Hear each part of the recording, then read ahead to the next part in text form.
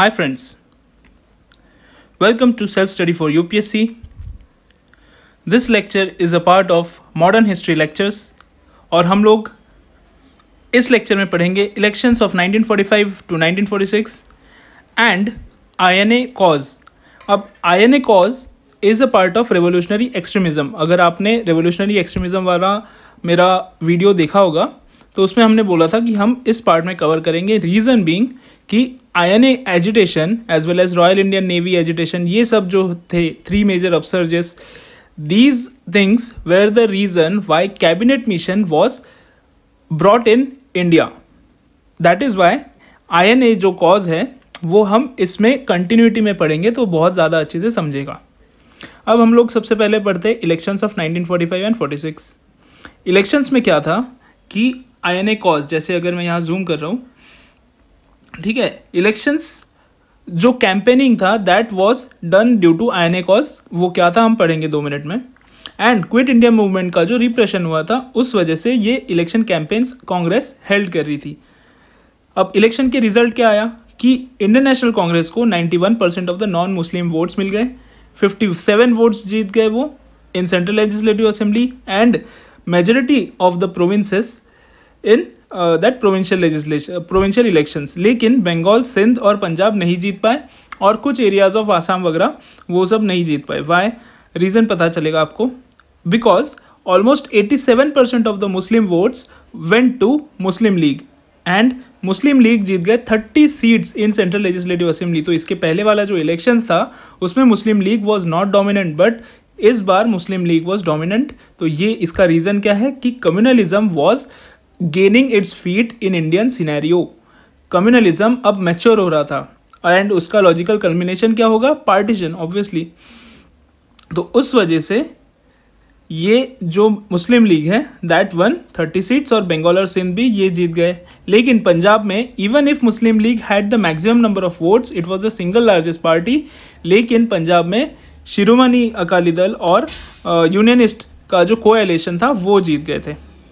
अब इससे क्या पता चला कि कम्युनल वोटिंग हुए एंड सेपरेट इलेक्ट्रोरेट्स की वजह से ये सारी चीज़ें हुई और लिमिटेड फ्रेंचाइज के ऊपर था ये। वाई बिकॉज़ सेंटर में तो सेंट्रल लेवल पे only one percent of the population could vote and provincial level पे भी सिर्फ़ ten percent of the provincial population could vote तो लिमिटेड फ्रेंचाइज थी।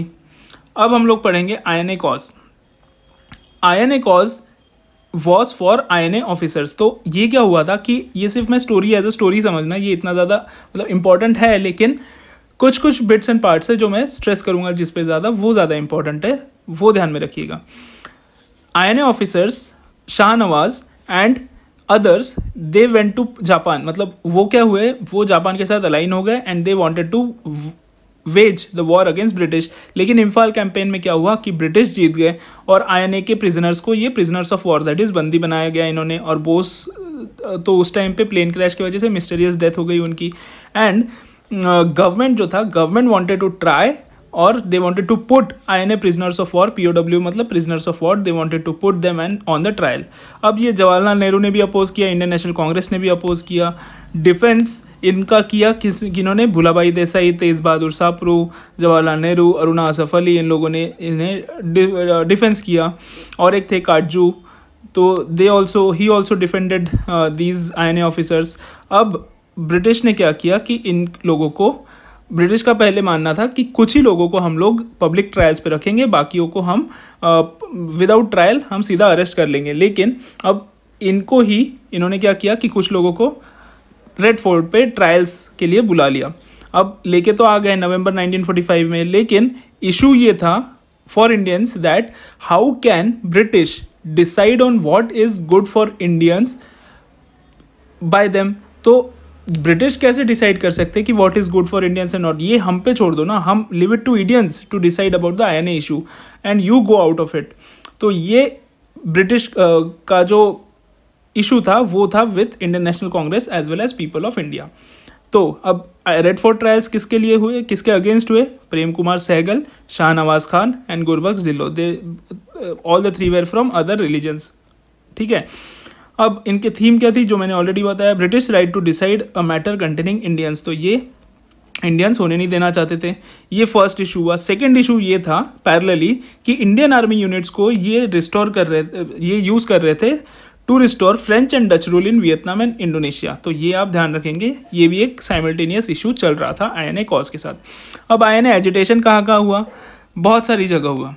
ठीक है, लेकिन ये अर्बन सेंटर्स में हुआ मोस्टली दिल्ली, मुंबई दिल्ली बॉम्बे मद्रास कैलकटा तब कोलकाता तो नहीं था कैलकटा था United Provinces then Punjab Assam में भी ये आ, हुआ एजुटेशन बलूचिस्तान में हुआ मद्रास में हुआ कुर्ग में हुआ।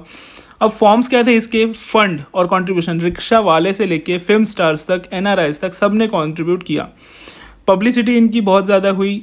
आई एन ए वीक मनाया गया fifth to eleventh November I N A day मनाया गया twelfth November shops were closed they were demanding release of prisoners of war and kisan conferences or all india women conferences. They also were demanding re, release of prisoners of war. अब Indian national Congress का इसमें क्या role था? उन्होंने Bombay session में बोला कि we are supporting Indian national agitation cause ठीक है? इंडियन नेशनल आर्मी कॉज अब इन्होंने डिफेंस भी किया लॉयर्स ने, वो तो पता ही है आपको लॉयर्स कौन से कौन से हैं? ये भूलाभाई देसाई तेज बहादुर सापरू जवाहरलाल नेहरू एंड अरुणा असफ अली अब there was also an issue of India sovereignty कि भाई इंडिया के इशूज़ को इंडियंस हैंडल करेंगे, आप क्यों हैंडल कर रहे हो? इन्होंने इलेक्शन कैंपेन बनाया आई एन ए कॉज को अपना और इलेक्शन जीत लिए। फिर रिलेशंस ऑफ़ इंडियन इंडिया और ब्रिटेन को ये कह रहे थे कि इस बेसिस पे आप रिलेशंस बनाओगे क्या इंडिया और ब्रिटेन के आफ्टर इंडिपेंडेंस फिर even other parties like Muslim League C P I Unionist Party Akali Dal Justice Party Ahrars of Rawalpindi R S S Hindu Mahasabha Sikh League all were supportive of British cause अब इसके बाद में आया violent upsurges अब ये violent upsurges क्यों हुए वो मैं आपको बताता हूँ। ये वायलेंट इसीलिए इसको रिवॉल्यूशनरी एक्सट्रीमिज्म का पार्ट माना गया है। आई एन ए कॉज ये अलग है। इंडोनेशिया वगैरह वियतनाम इनमें जो इंडियंस जाते थे वो अलग पार्ट है। थ्री वायलेंट अपसर्जेस वो अलग पार्ट है। ठीक है? तो ये uh, ध्यान रखेंगे। ठीक है अब आई एन ए ट्रायल्स जो थे that is a part of three violent upsurges लेकिन यहाँ पे नवंबर ट्वेंटी वन में दैट uh, ये हुआ वायलेंट रिप्रेशन uh, हुआ या वायलेंस हुआ। अब इसके और अलग अलग जो वायलेंस uh, के जो इंसिडेंट्स थे वो मैं आपको बताऊँगा। सबसे पहले तो नवंबर ट्वेंटी वन दूसरा है February eleven nineteen forty six and February eighteen nineteen forty six February eleven में क्या हुआ? सेवन ईयर्स इंप्रिजनमेंट दिया गया to Rashid Ali at Calcutta February 18 में आर आई एन रेटिंग्स का इशू हुआ of H M H M I S Talwar Bombay तो H M I एजेस पैटर्न जो था, अब ये ध्यान रखेंगे कि ये तीनों वायलेंट अपसर्जेस में थ्री स्टेज पैटर्न जो था, ये कॉमन था. कौन से थ्री स्टेज पैटर्न सबसे पहला पैटर्न होता है when a group defies authorities authorities repress them कौन से ग्रुप ने डिफाई किया था? नवंबर 21 में Forward Bloc Student Federation of India Indian National Congress Muslim League इन्होंने फ्लैग्स ब्रिटिश फ्लैग्स दिखाए। एंटी ब्रिटिश सिंबल था डेलाउजी स्क्वायर में गए और इन्हें लाठीचार्ज पड़ा। फिर फेब्रवरी एलेवन वालों ने क्या किया? उस टाइम पे Muslim League Indian National Congress CPI students they were lathi charge in February eighteen में Royal Indian Navy they organise strike and same flag तो तीनों में थ्री स्टेज पैटर्न जो था वो कॉमन था। सेकंड स्टेज क्या था? When the Bengal when the city people join in city people join करेंगे तो क्या होगा? मीटिंग्स होगी स्ट्राइक्स होगी हड़ताल होगा डैमेज टू पब्लिक प्रॉपर्टी होगा और ट्रांसपोर्टेशन में इशू जाएगा। थर्ड स्टेज क्या आएगा? When people in other parts express sympathy and solidarity तो ये जो है, जैसे फॉर एग्जांपल अगर कैलकाटा बॉम्बे में इशू होता था तो military establishment in Andaman Aden Bahrain Karachi, Madras, यहाँ पे इशूज शुरू हो जाते थे। यहाँ पे ये लोग सॉलिडारिटी दिखाते थे। और इंडियन एयरफोर्स में भी ये इशू हो रहा था। इंडियन एयरफोर्स तक भी ये पहुँच चुका था इन पुणे पुणे, बॉम्बे, कराची, है ना? तो यहाँ तक सॉलिडारिटी और या फिर सपोर्ट ये लोग दिखाते थे। अब सिग्निफिकेंस कहाँ, क्या था? Indian National Army I N A cause का significance it heightened the intensity of support nationalism इस टाइम पे बहुत ज़्यादा it was at its logical culmination unity थी हिंदू मुस्लिम यूनिटी थी ऑल क्लासेस यूनिटी थी। Military loyalist bureaucracy these were the new sections that joined the Indian national movement fearless action हुआ minds of the people were liberated and this British hegemony was reduced. Now, culmination of nationalism was there. Independence was inevitable. It was a spontaneous movement. सब decisions जो थे ये spontaneous हो रहे थे इस time पे Indian National Congress did not officially support these violent upsurges, but they supported INA cause. ये आप ध्यान रखेंगे कि upsurges जो violent upsurges थे revolutionary extremism वाले they did not them but Indian National Congress supported I N A cause फिर उसके बाद इसके लिमिटेशन क्या क्या थे? सबसे पहले तो लिमिटेशन ये था कि कम्युनल यूनिटी तो थी, लेकिन it was just for organisational that is specific agitation के लिए ही थी। और पीपल में कम्युनल यूनिटी नहीं थी, क्योंकि पार्टीशन तो हुआ ही आखिर, है ना? इट अब ये ध्यान रखेंगे कि only the most militant sections could participate that is liberal और कंजर्वेटिव पार्टिसिपेट कर ही नहीं पाए। It was short lived it was just for few days it was confined to few urban centres जो हमने ऑलरेडी देखा था। लेकिन आई एन कॉज जो था, वो विलेजेस तक पहुँचा, लेकिन ये अपसर्जेस जो थे, वो सिर्फ़ फ्यू अर्बन सेंटर्स तक ही कन्फाइंड थे, इसीलिए इसको सप्रेस करना भी ईजी था इन लोगों के लिए ब्रिटिश के लिए। अब ब्रिटेन ने क्या किया? कुछ कंसेशंस लेके आए। कंसेशंस क्या दिए कि only murderers will be put on trial पहला पहला चीज़ तो ये किया। सेकेंड उन्होंने ये किया कि imprisonment of already the people who are already put in to jail they will be remitted and third इन्होंने ये किया कि इंडोनेशियन इंडियंस को वापस बुला लिया।